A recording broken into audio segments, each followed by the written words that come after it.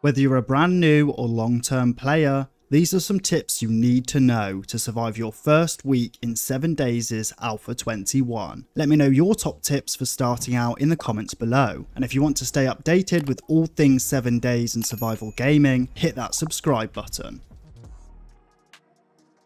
The first thing you're going to need to do is run through your tutorial quests. Sometimes it can be tempting to run out into the world and figure things out as you go along but these tutorial quests are actually really useful in a few ways. The tutorial quests will cover the following topics. Craft a bedroll, craft a stone axe, craft plant fiber clothing, craft a wooden club, craft a bow and arrows, craft and place a wood frame, upgrade the wood frame, craft and place a campfire, and locate a trader. Not only will these quests give you a good head start with a couple of weapons for both close and long ranged attacks, as well as showing you how to gather plant fibers, wood and stone, they'll also give you a handy map marker and on-screen heads up as to where your nearest trader is located. Most importantly though, completing these tutorial quests will reward you with 4 perk points to get you started, which can then be assigned immediately.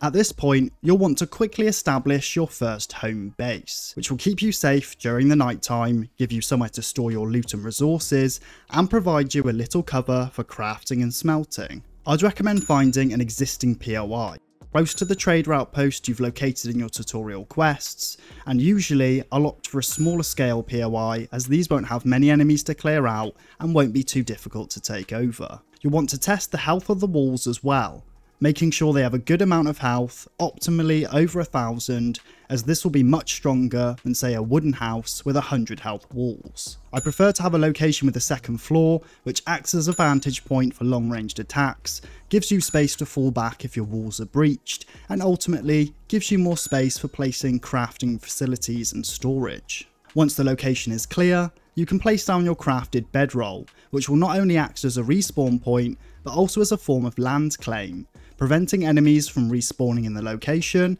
and also places a handy map marker on screen so that you can easily locate your base once you've headed back out. Later on, you may want to create two different bases. One will be your home base and your other is typically referred to as a horde base. The horde base is usually where you'll go during a blood moon horde.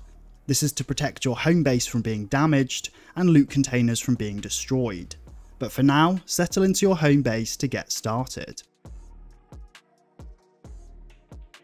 Once you've staked your claim and set up your first home base, it's a good idea to go out and introduce yourself to the nearest trader. At traders, you can buy and sell goods like food, resources, weapons, ammo, vehicles and mods, as well as taking on quests. Quests will be useful early game as they offer a few benefits when completed. Quests are separated into 5 different tiers and to progress through the tiers you must complete 7 quests in your current tier.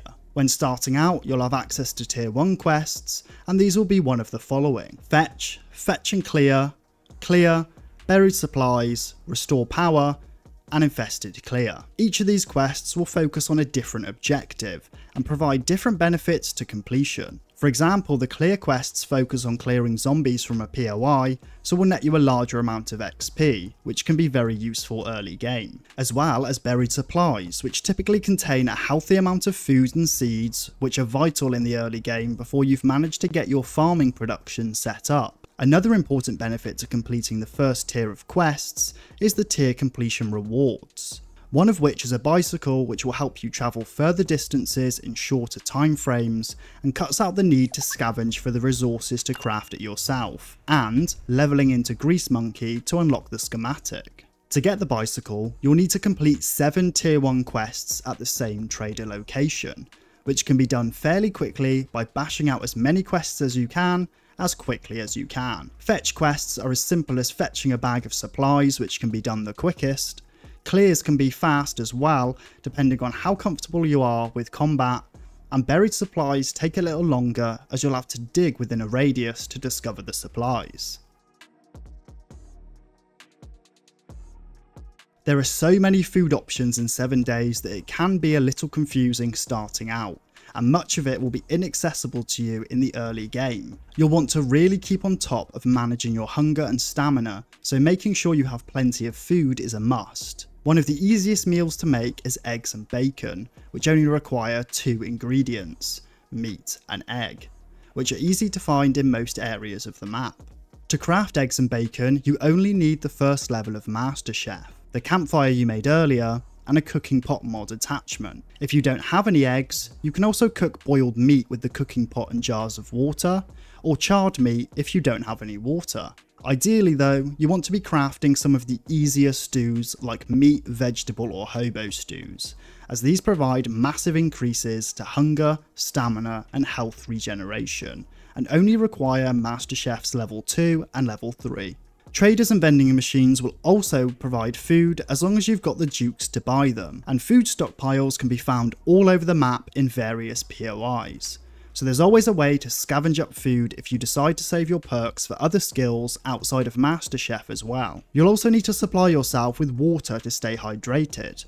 You'll want to avoid drinking murky water as this causes dysentery and reduces your health by 5 points of damage and dysentery isn't very fun. You'll be able to collect 3 murky water a day from the dew collector facility, but you'll also be able to find water filtration mods for your headgear to drink directly from water sources too. Trader outposts and vending machines are stocked with water and other drinkable items, and they can be found by scavenging POIs, so there's plenty of ways to source water early on.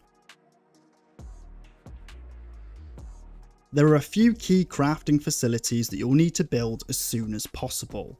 The most important is probably the workbench, followed by the forge. You can craft the workbench by leveling up in the advanced engineering skill, which you'll need two levels in to access the Tinkerer tier of the skill. Once this has been unlocked, you can build your workbench and place it in your newfound home. You could do this relatively quickly by using the points you received from completing the initial tutorial quests. The forge can also be unlocked for crafting by unlocking the first level of advanced engineering known as blacksmith, which will also give you the ability to craft items with the forge 20% faster.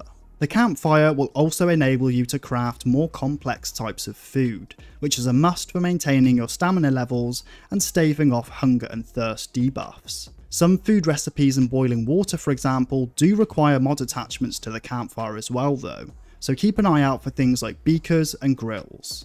Later on, you will also be able to craft the chemistry workstation for crafting medical supplies and medicines, as well as the cement mixer to craft more complex building materials like cobblestone and concrete to fortify your structures.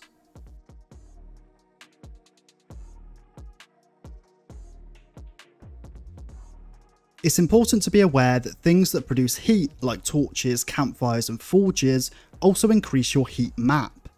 The heat map is an indicator that increases with certain actions like using firearms, mechanical equipment, using heat emitting facilities or breaking blocks. So be mindful of the number of facilities crafting at once, especially if you're nearby mining or firing off weapons. When your heat map percentage hits 100%, a screamer will spawn in your general vicinity, which can then spawn hordes of zombies until it's killed, resulting in some unexpected visitors. Now you've established a home, completed some quests and met the trader, you're ready to start compiling resources for crafting. There are a few types of resources which can either be harvested or scavenged. First of all, there are naturally occurring resources like the following. Trees, rocks, iron, coal, shale, nitrate, lead, plant fibre, and silver, gold and diamonds. Most of these resources can be found in all of the biomes of the map, However, shale can only be found naturally in the desert and coal cannot be, so they should be relatively accessible no matter what biome you've started your game in. Obviously, different types of tools are needed to harvest each of these resources most efficiently, from axe for wood to picks for ores and minerals.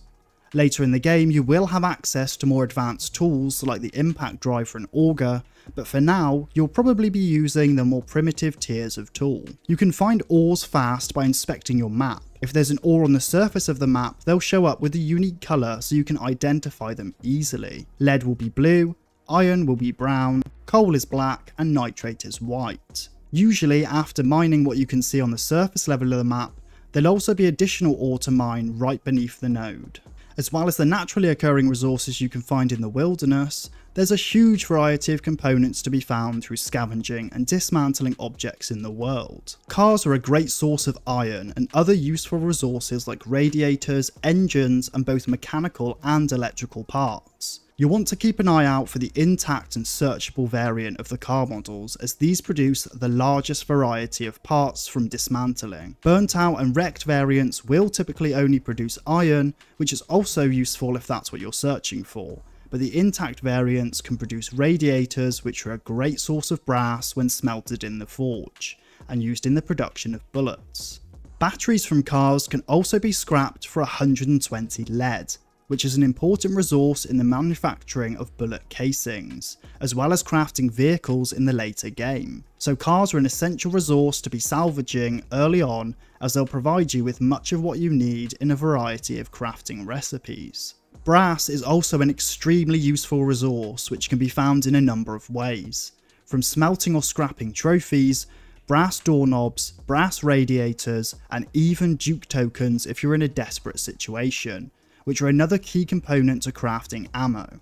Engines can be scrapped for a big injection of mechanical parts, with each engine producing 30 mechanical parts, which will be vital in the crafting of the workbench, which also requires 20 mechanical parts to build.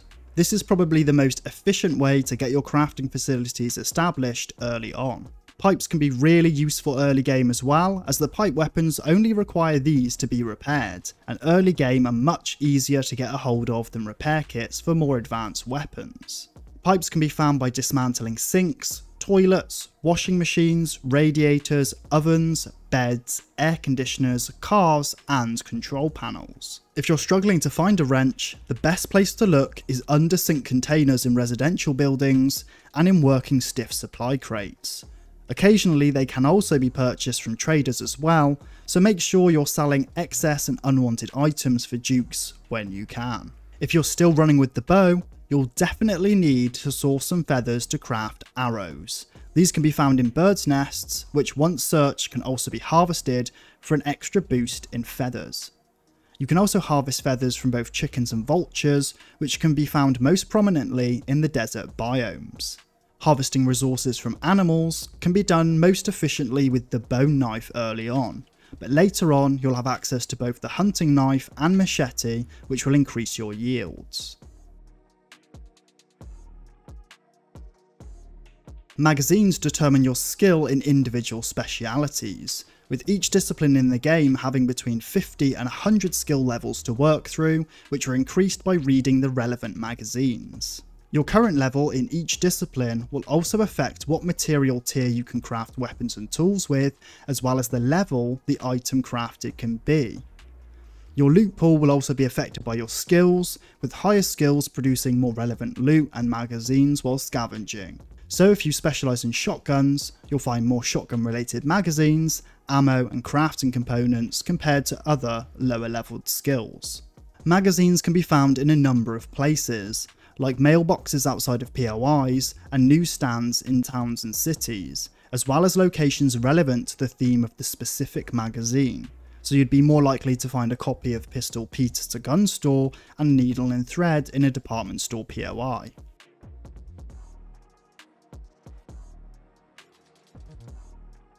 By this point, you'll likely be approaching your first Blood Moon Horde which can be a daunting time for new players. You'll be met with your day counter turning red at the beginning of the day to notify you the blood moon will be taking place that night. This is the time to start preparing for the horde and making sure you have all the supplies you'll need and a good defensible position to take on the horde. The blood moon will take place from 10pm to 4am the following day, so there's a good amount of time to travel to your chosen position and get set up it's a good idea to stock up on as much ammo as you can, as well as having a variety of different weapons from range to melee, so you always have a backup option should one of your weapons break or run out of ammo. The first horde is fairly easy, and shouldn't be too difficult to contend with as long as you have a good position and enough ammo and weapons, with only one or two zombie waves being thrown at you on the first blood moon. Zombie waves on Horde Night are determined by your game stage, and game stage is determined by how many days you've been alive, plus your character level multiplied by 1.5. So for example, if you were on the 7th day and your level was 5, you'd multiply 1.5 by 5 to get 7.5 and then add that to the number of days survived to get your game stage of 14.5. The number of zombies that spawn per wave also depends on the number of players in the game, the game stage of the players, and the max alive settings determined when setting up the game in the initial world options. Finally, there are three methods of completing the Horde Night. One being to kill every zombie in each wave determined by the game stage formula I just mentioned, surviving the night and making it to 4am when the blood moon ends and zombies revert to being weaker and slower like they had previously been, or you manage to avoid all of the waves until they've timed out. Let me know what your top tips are for starting a new playthrough in 7 days in the comments below. Leave a like if you found this video useful or learned something new. And if you'd like to stay updated with all things 7 Days to Die and survival gaming, make sure to subscribe to the channel. Also, why not check out one of my other videos on screen now. Goodbye.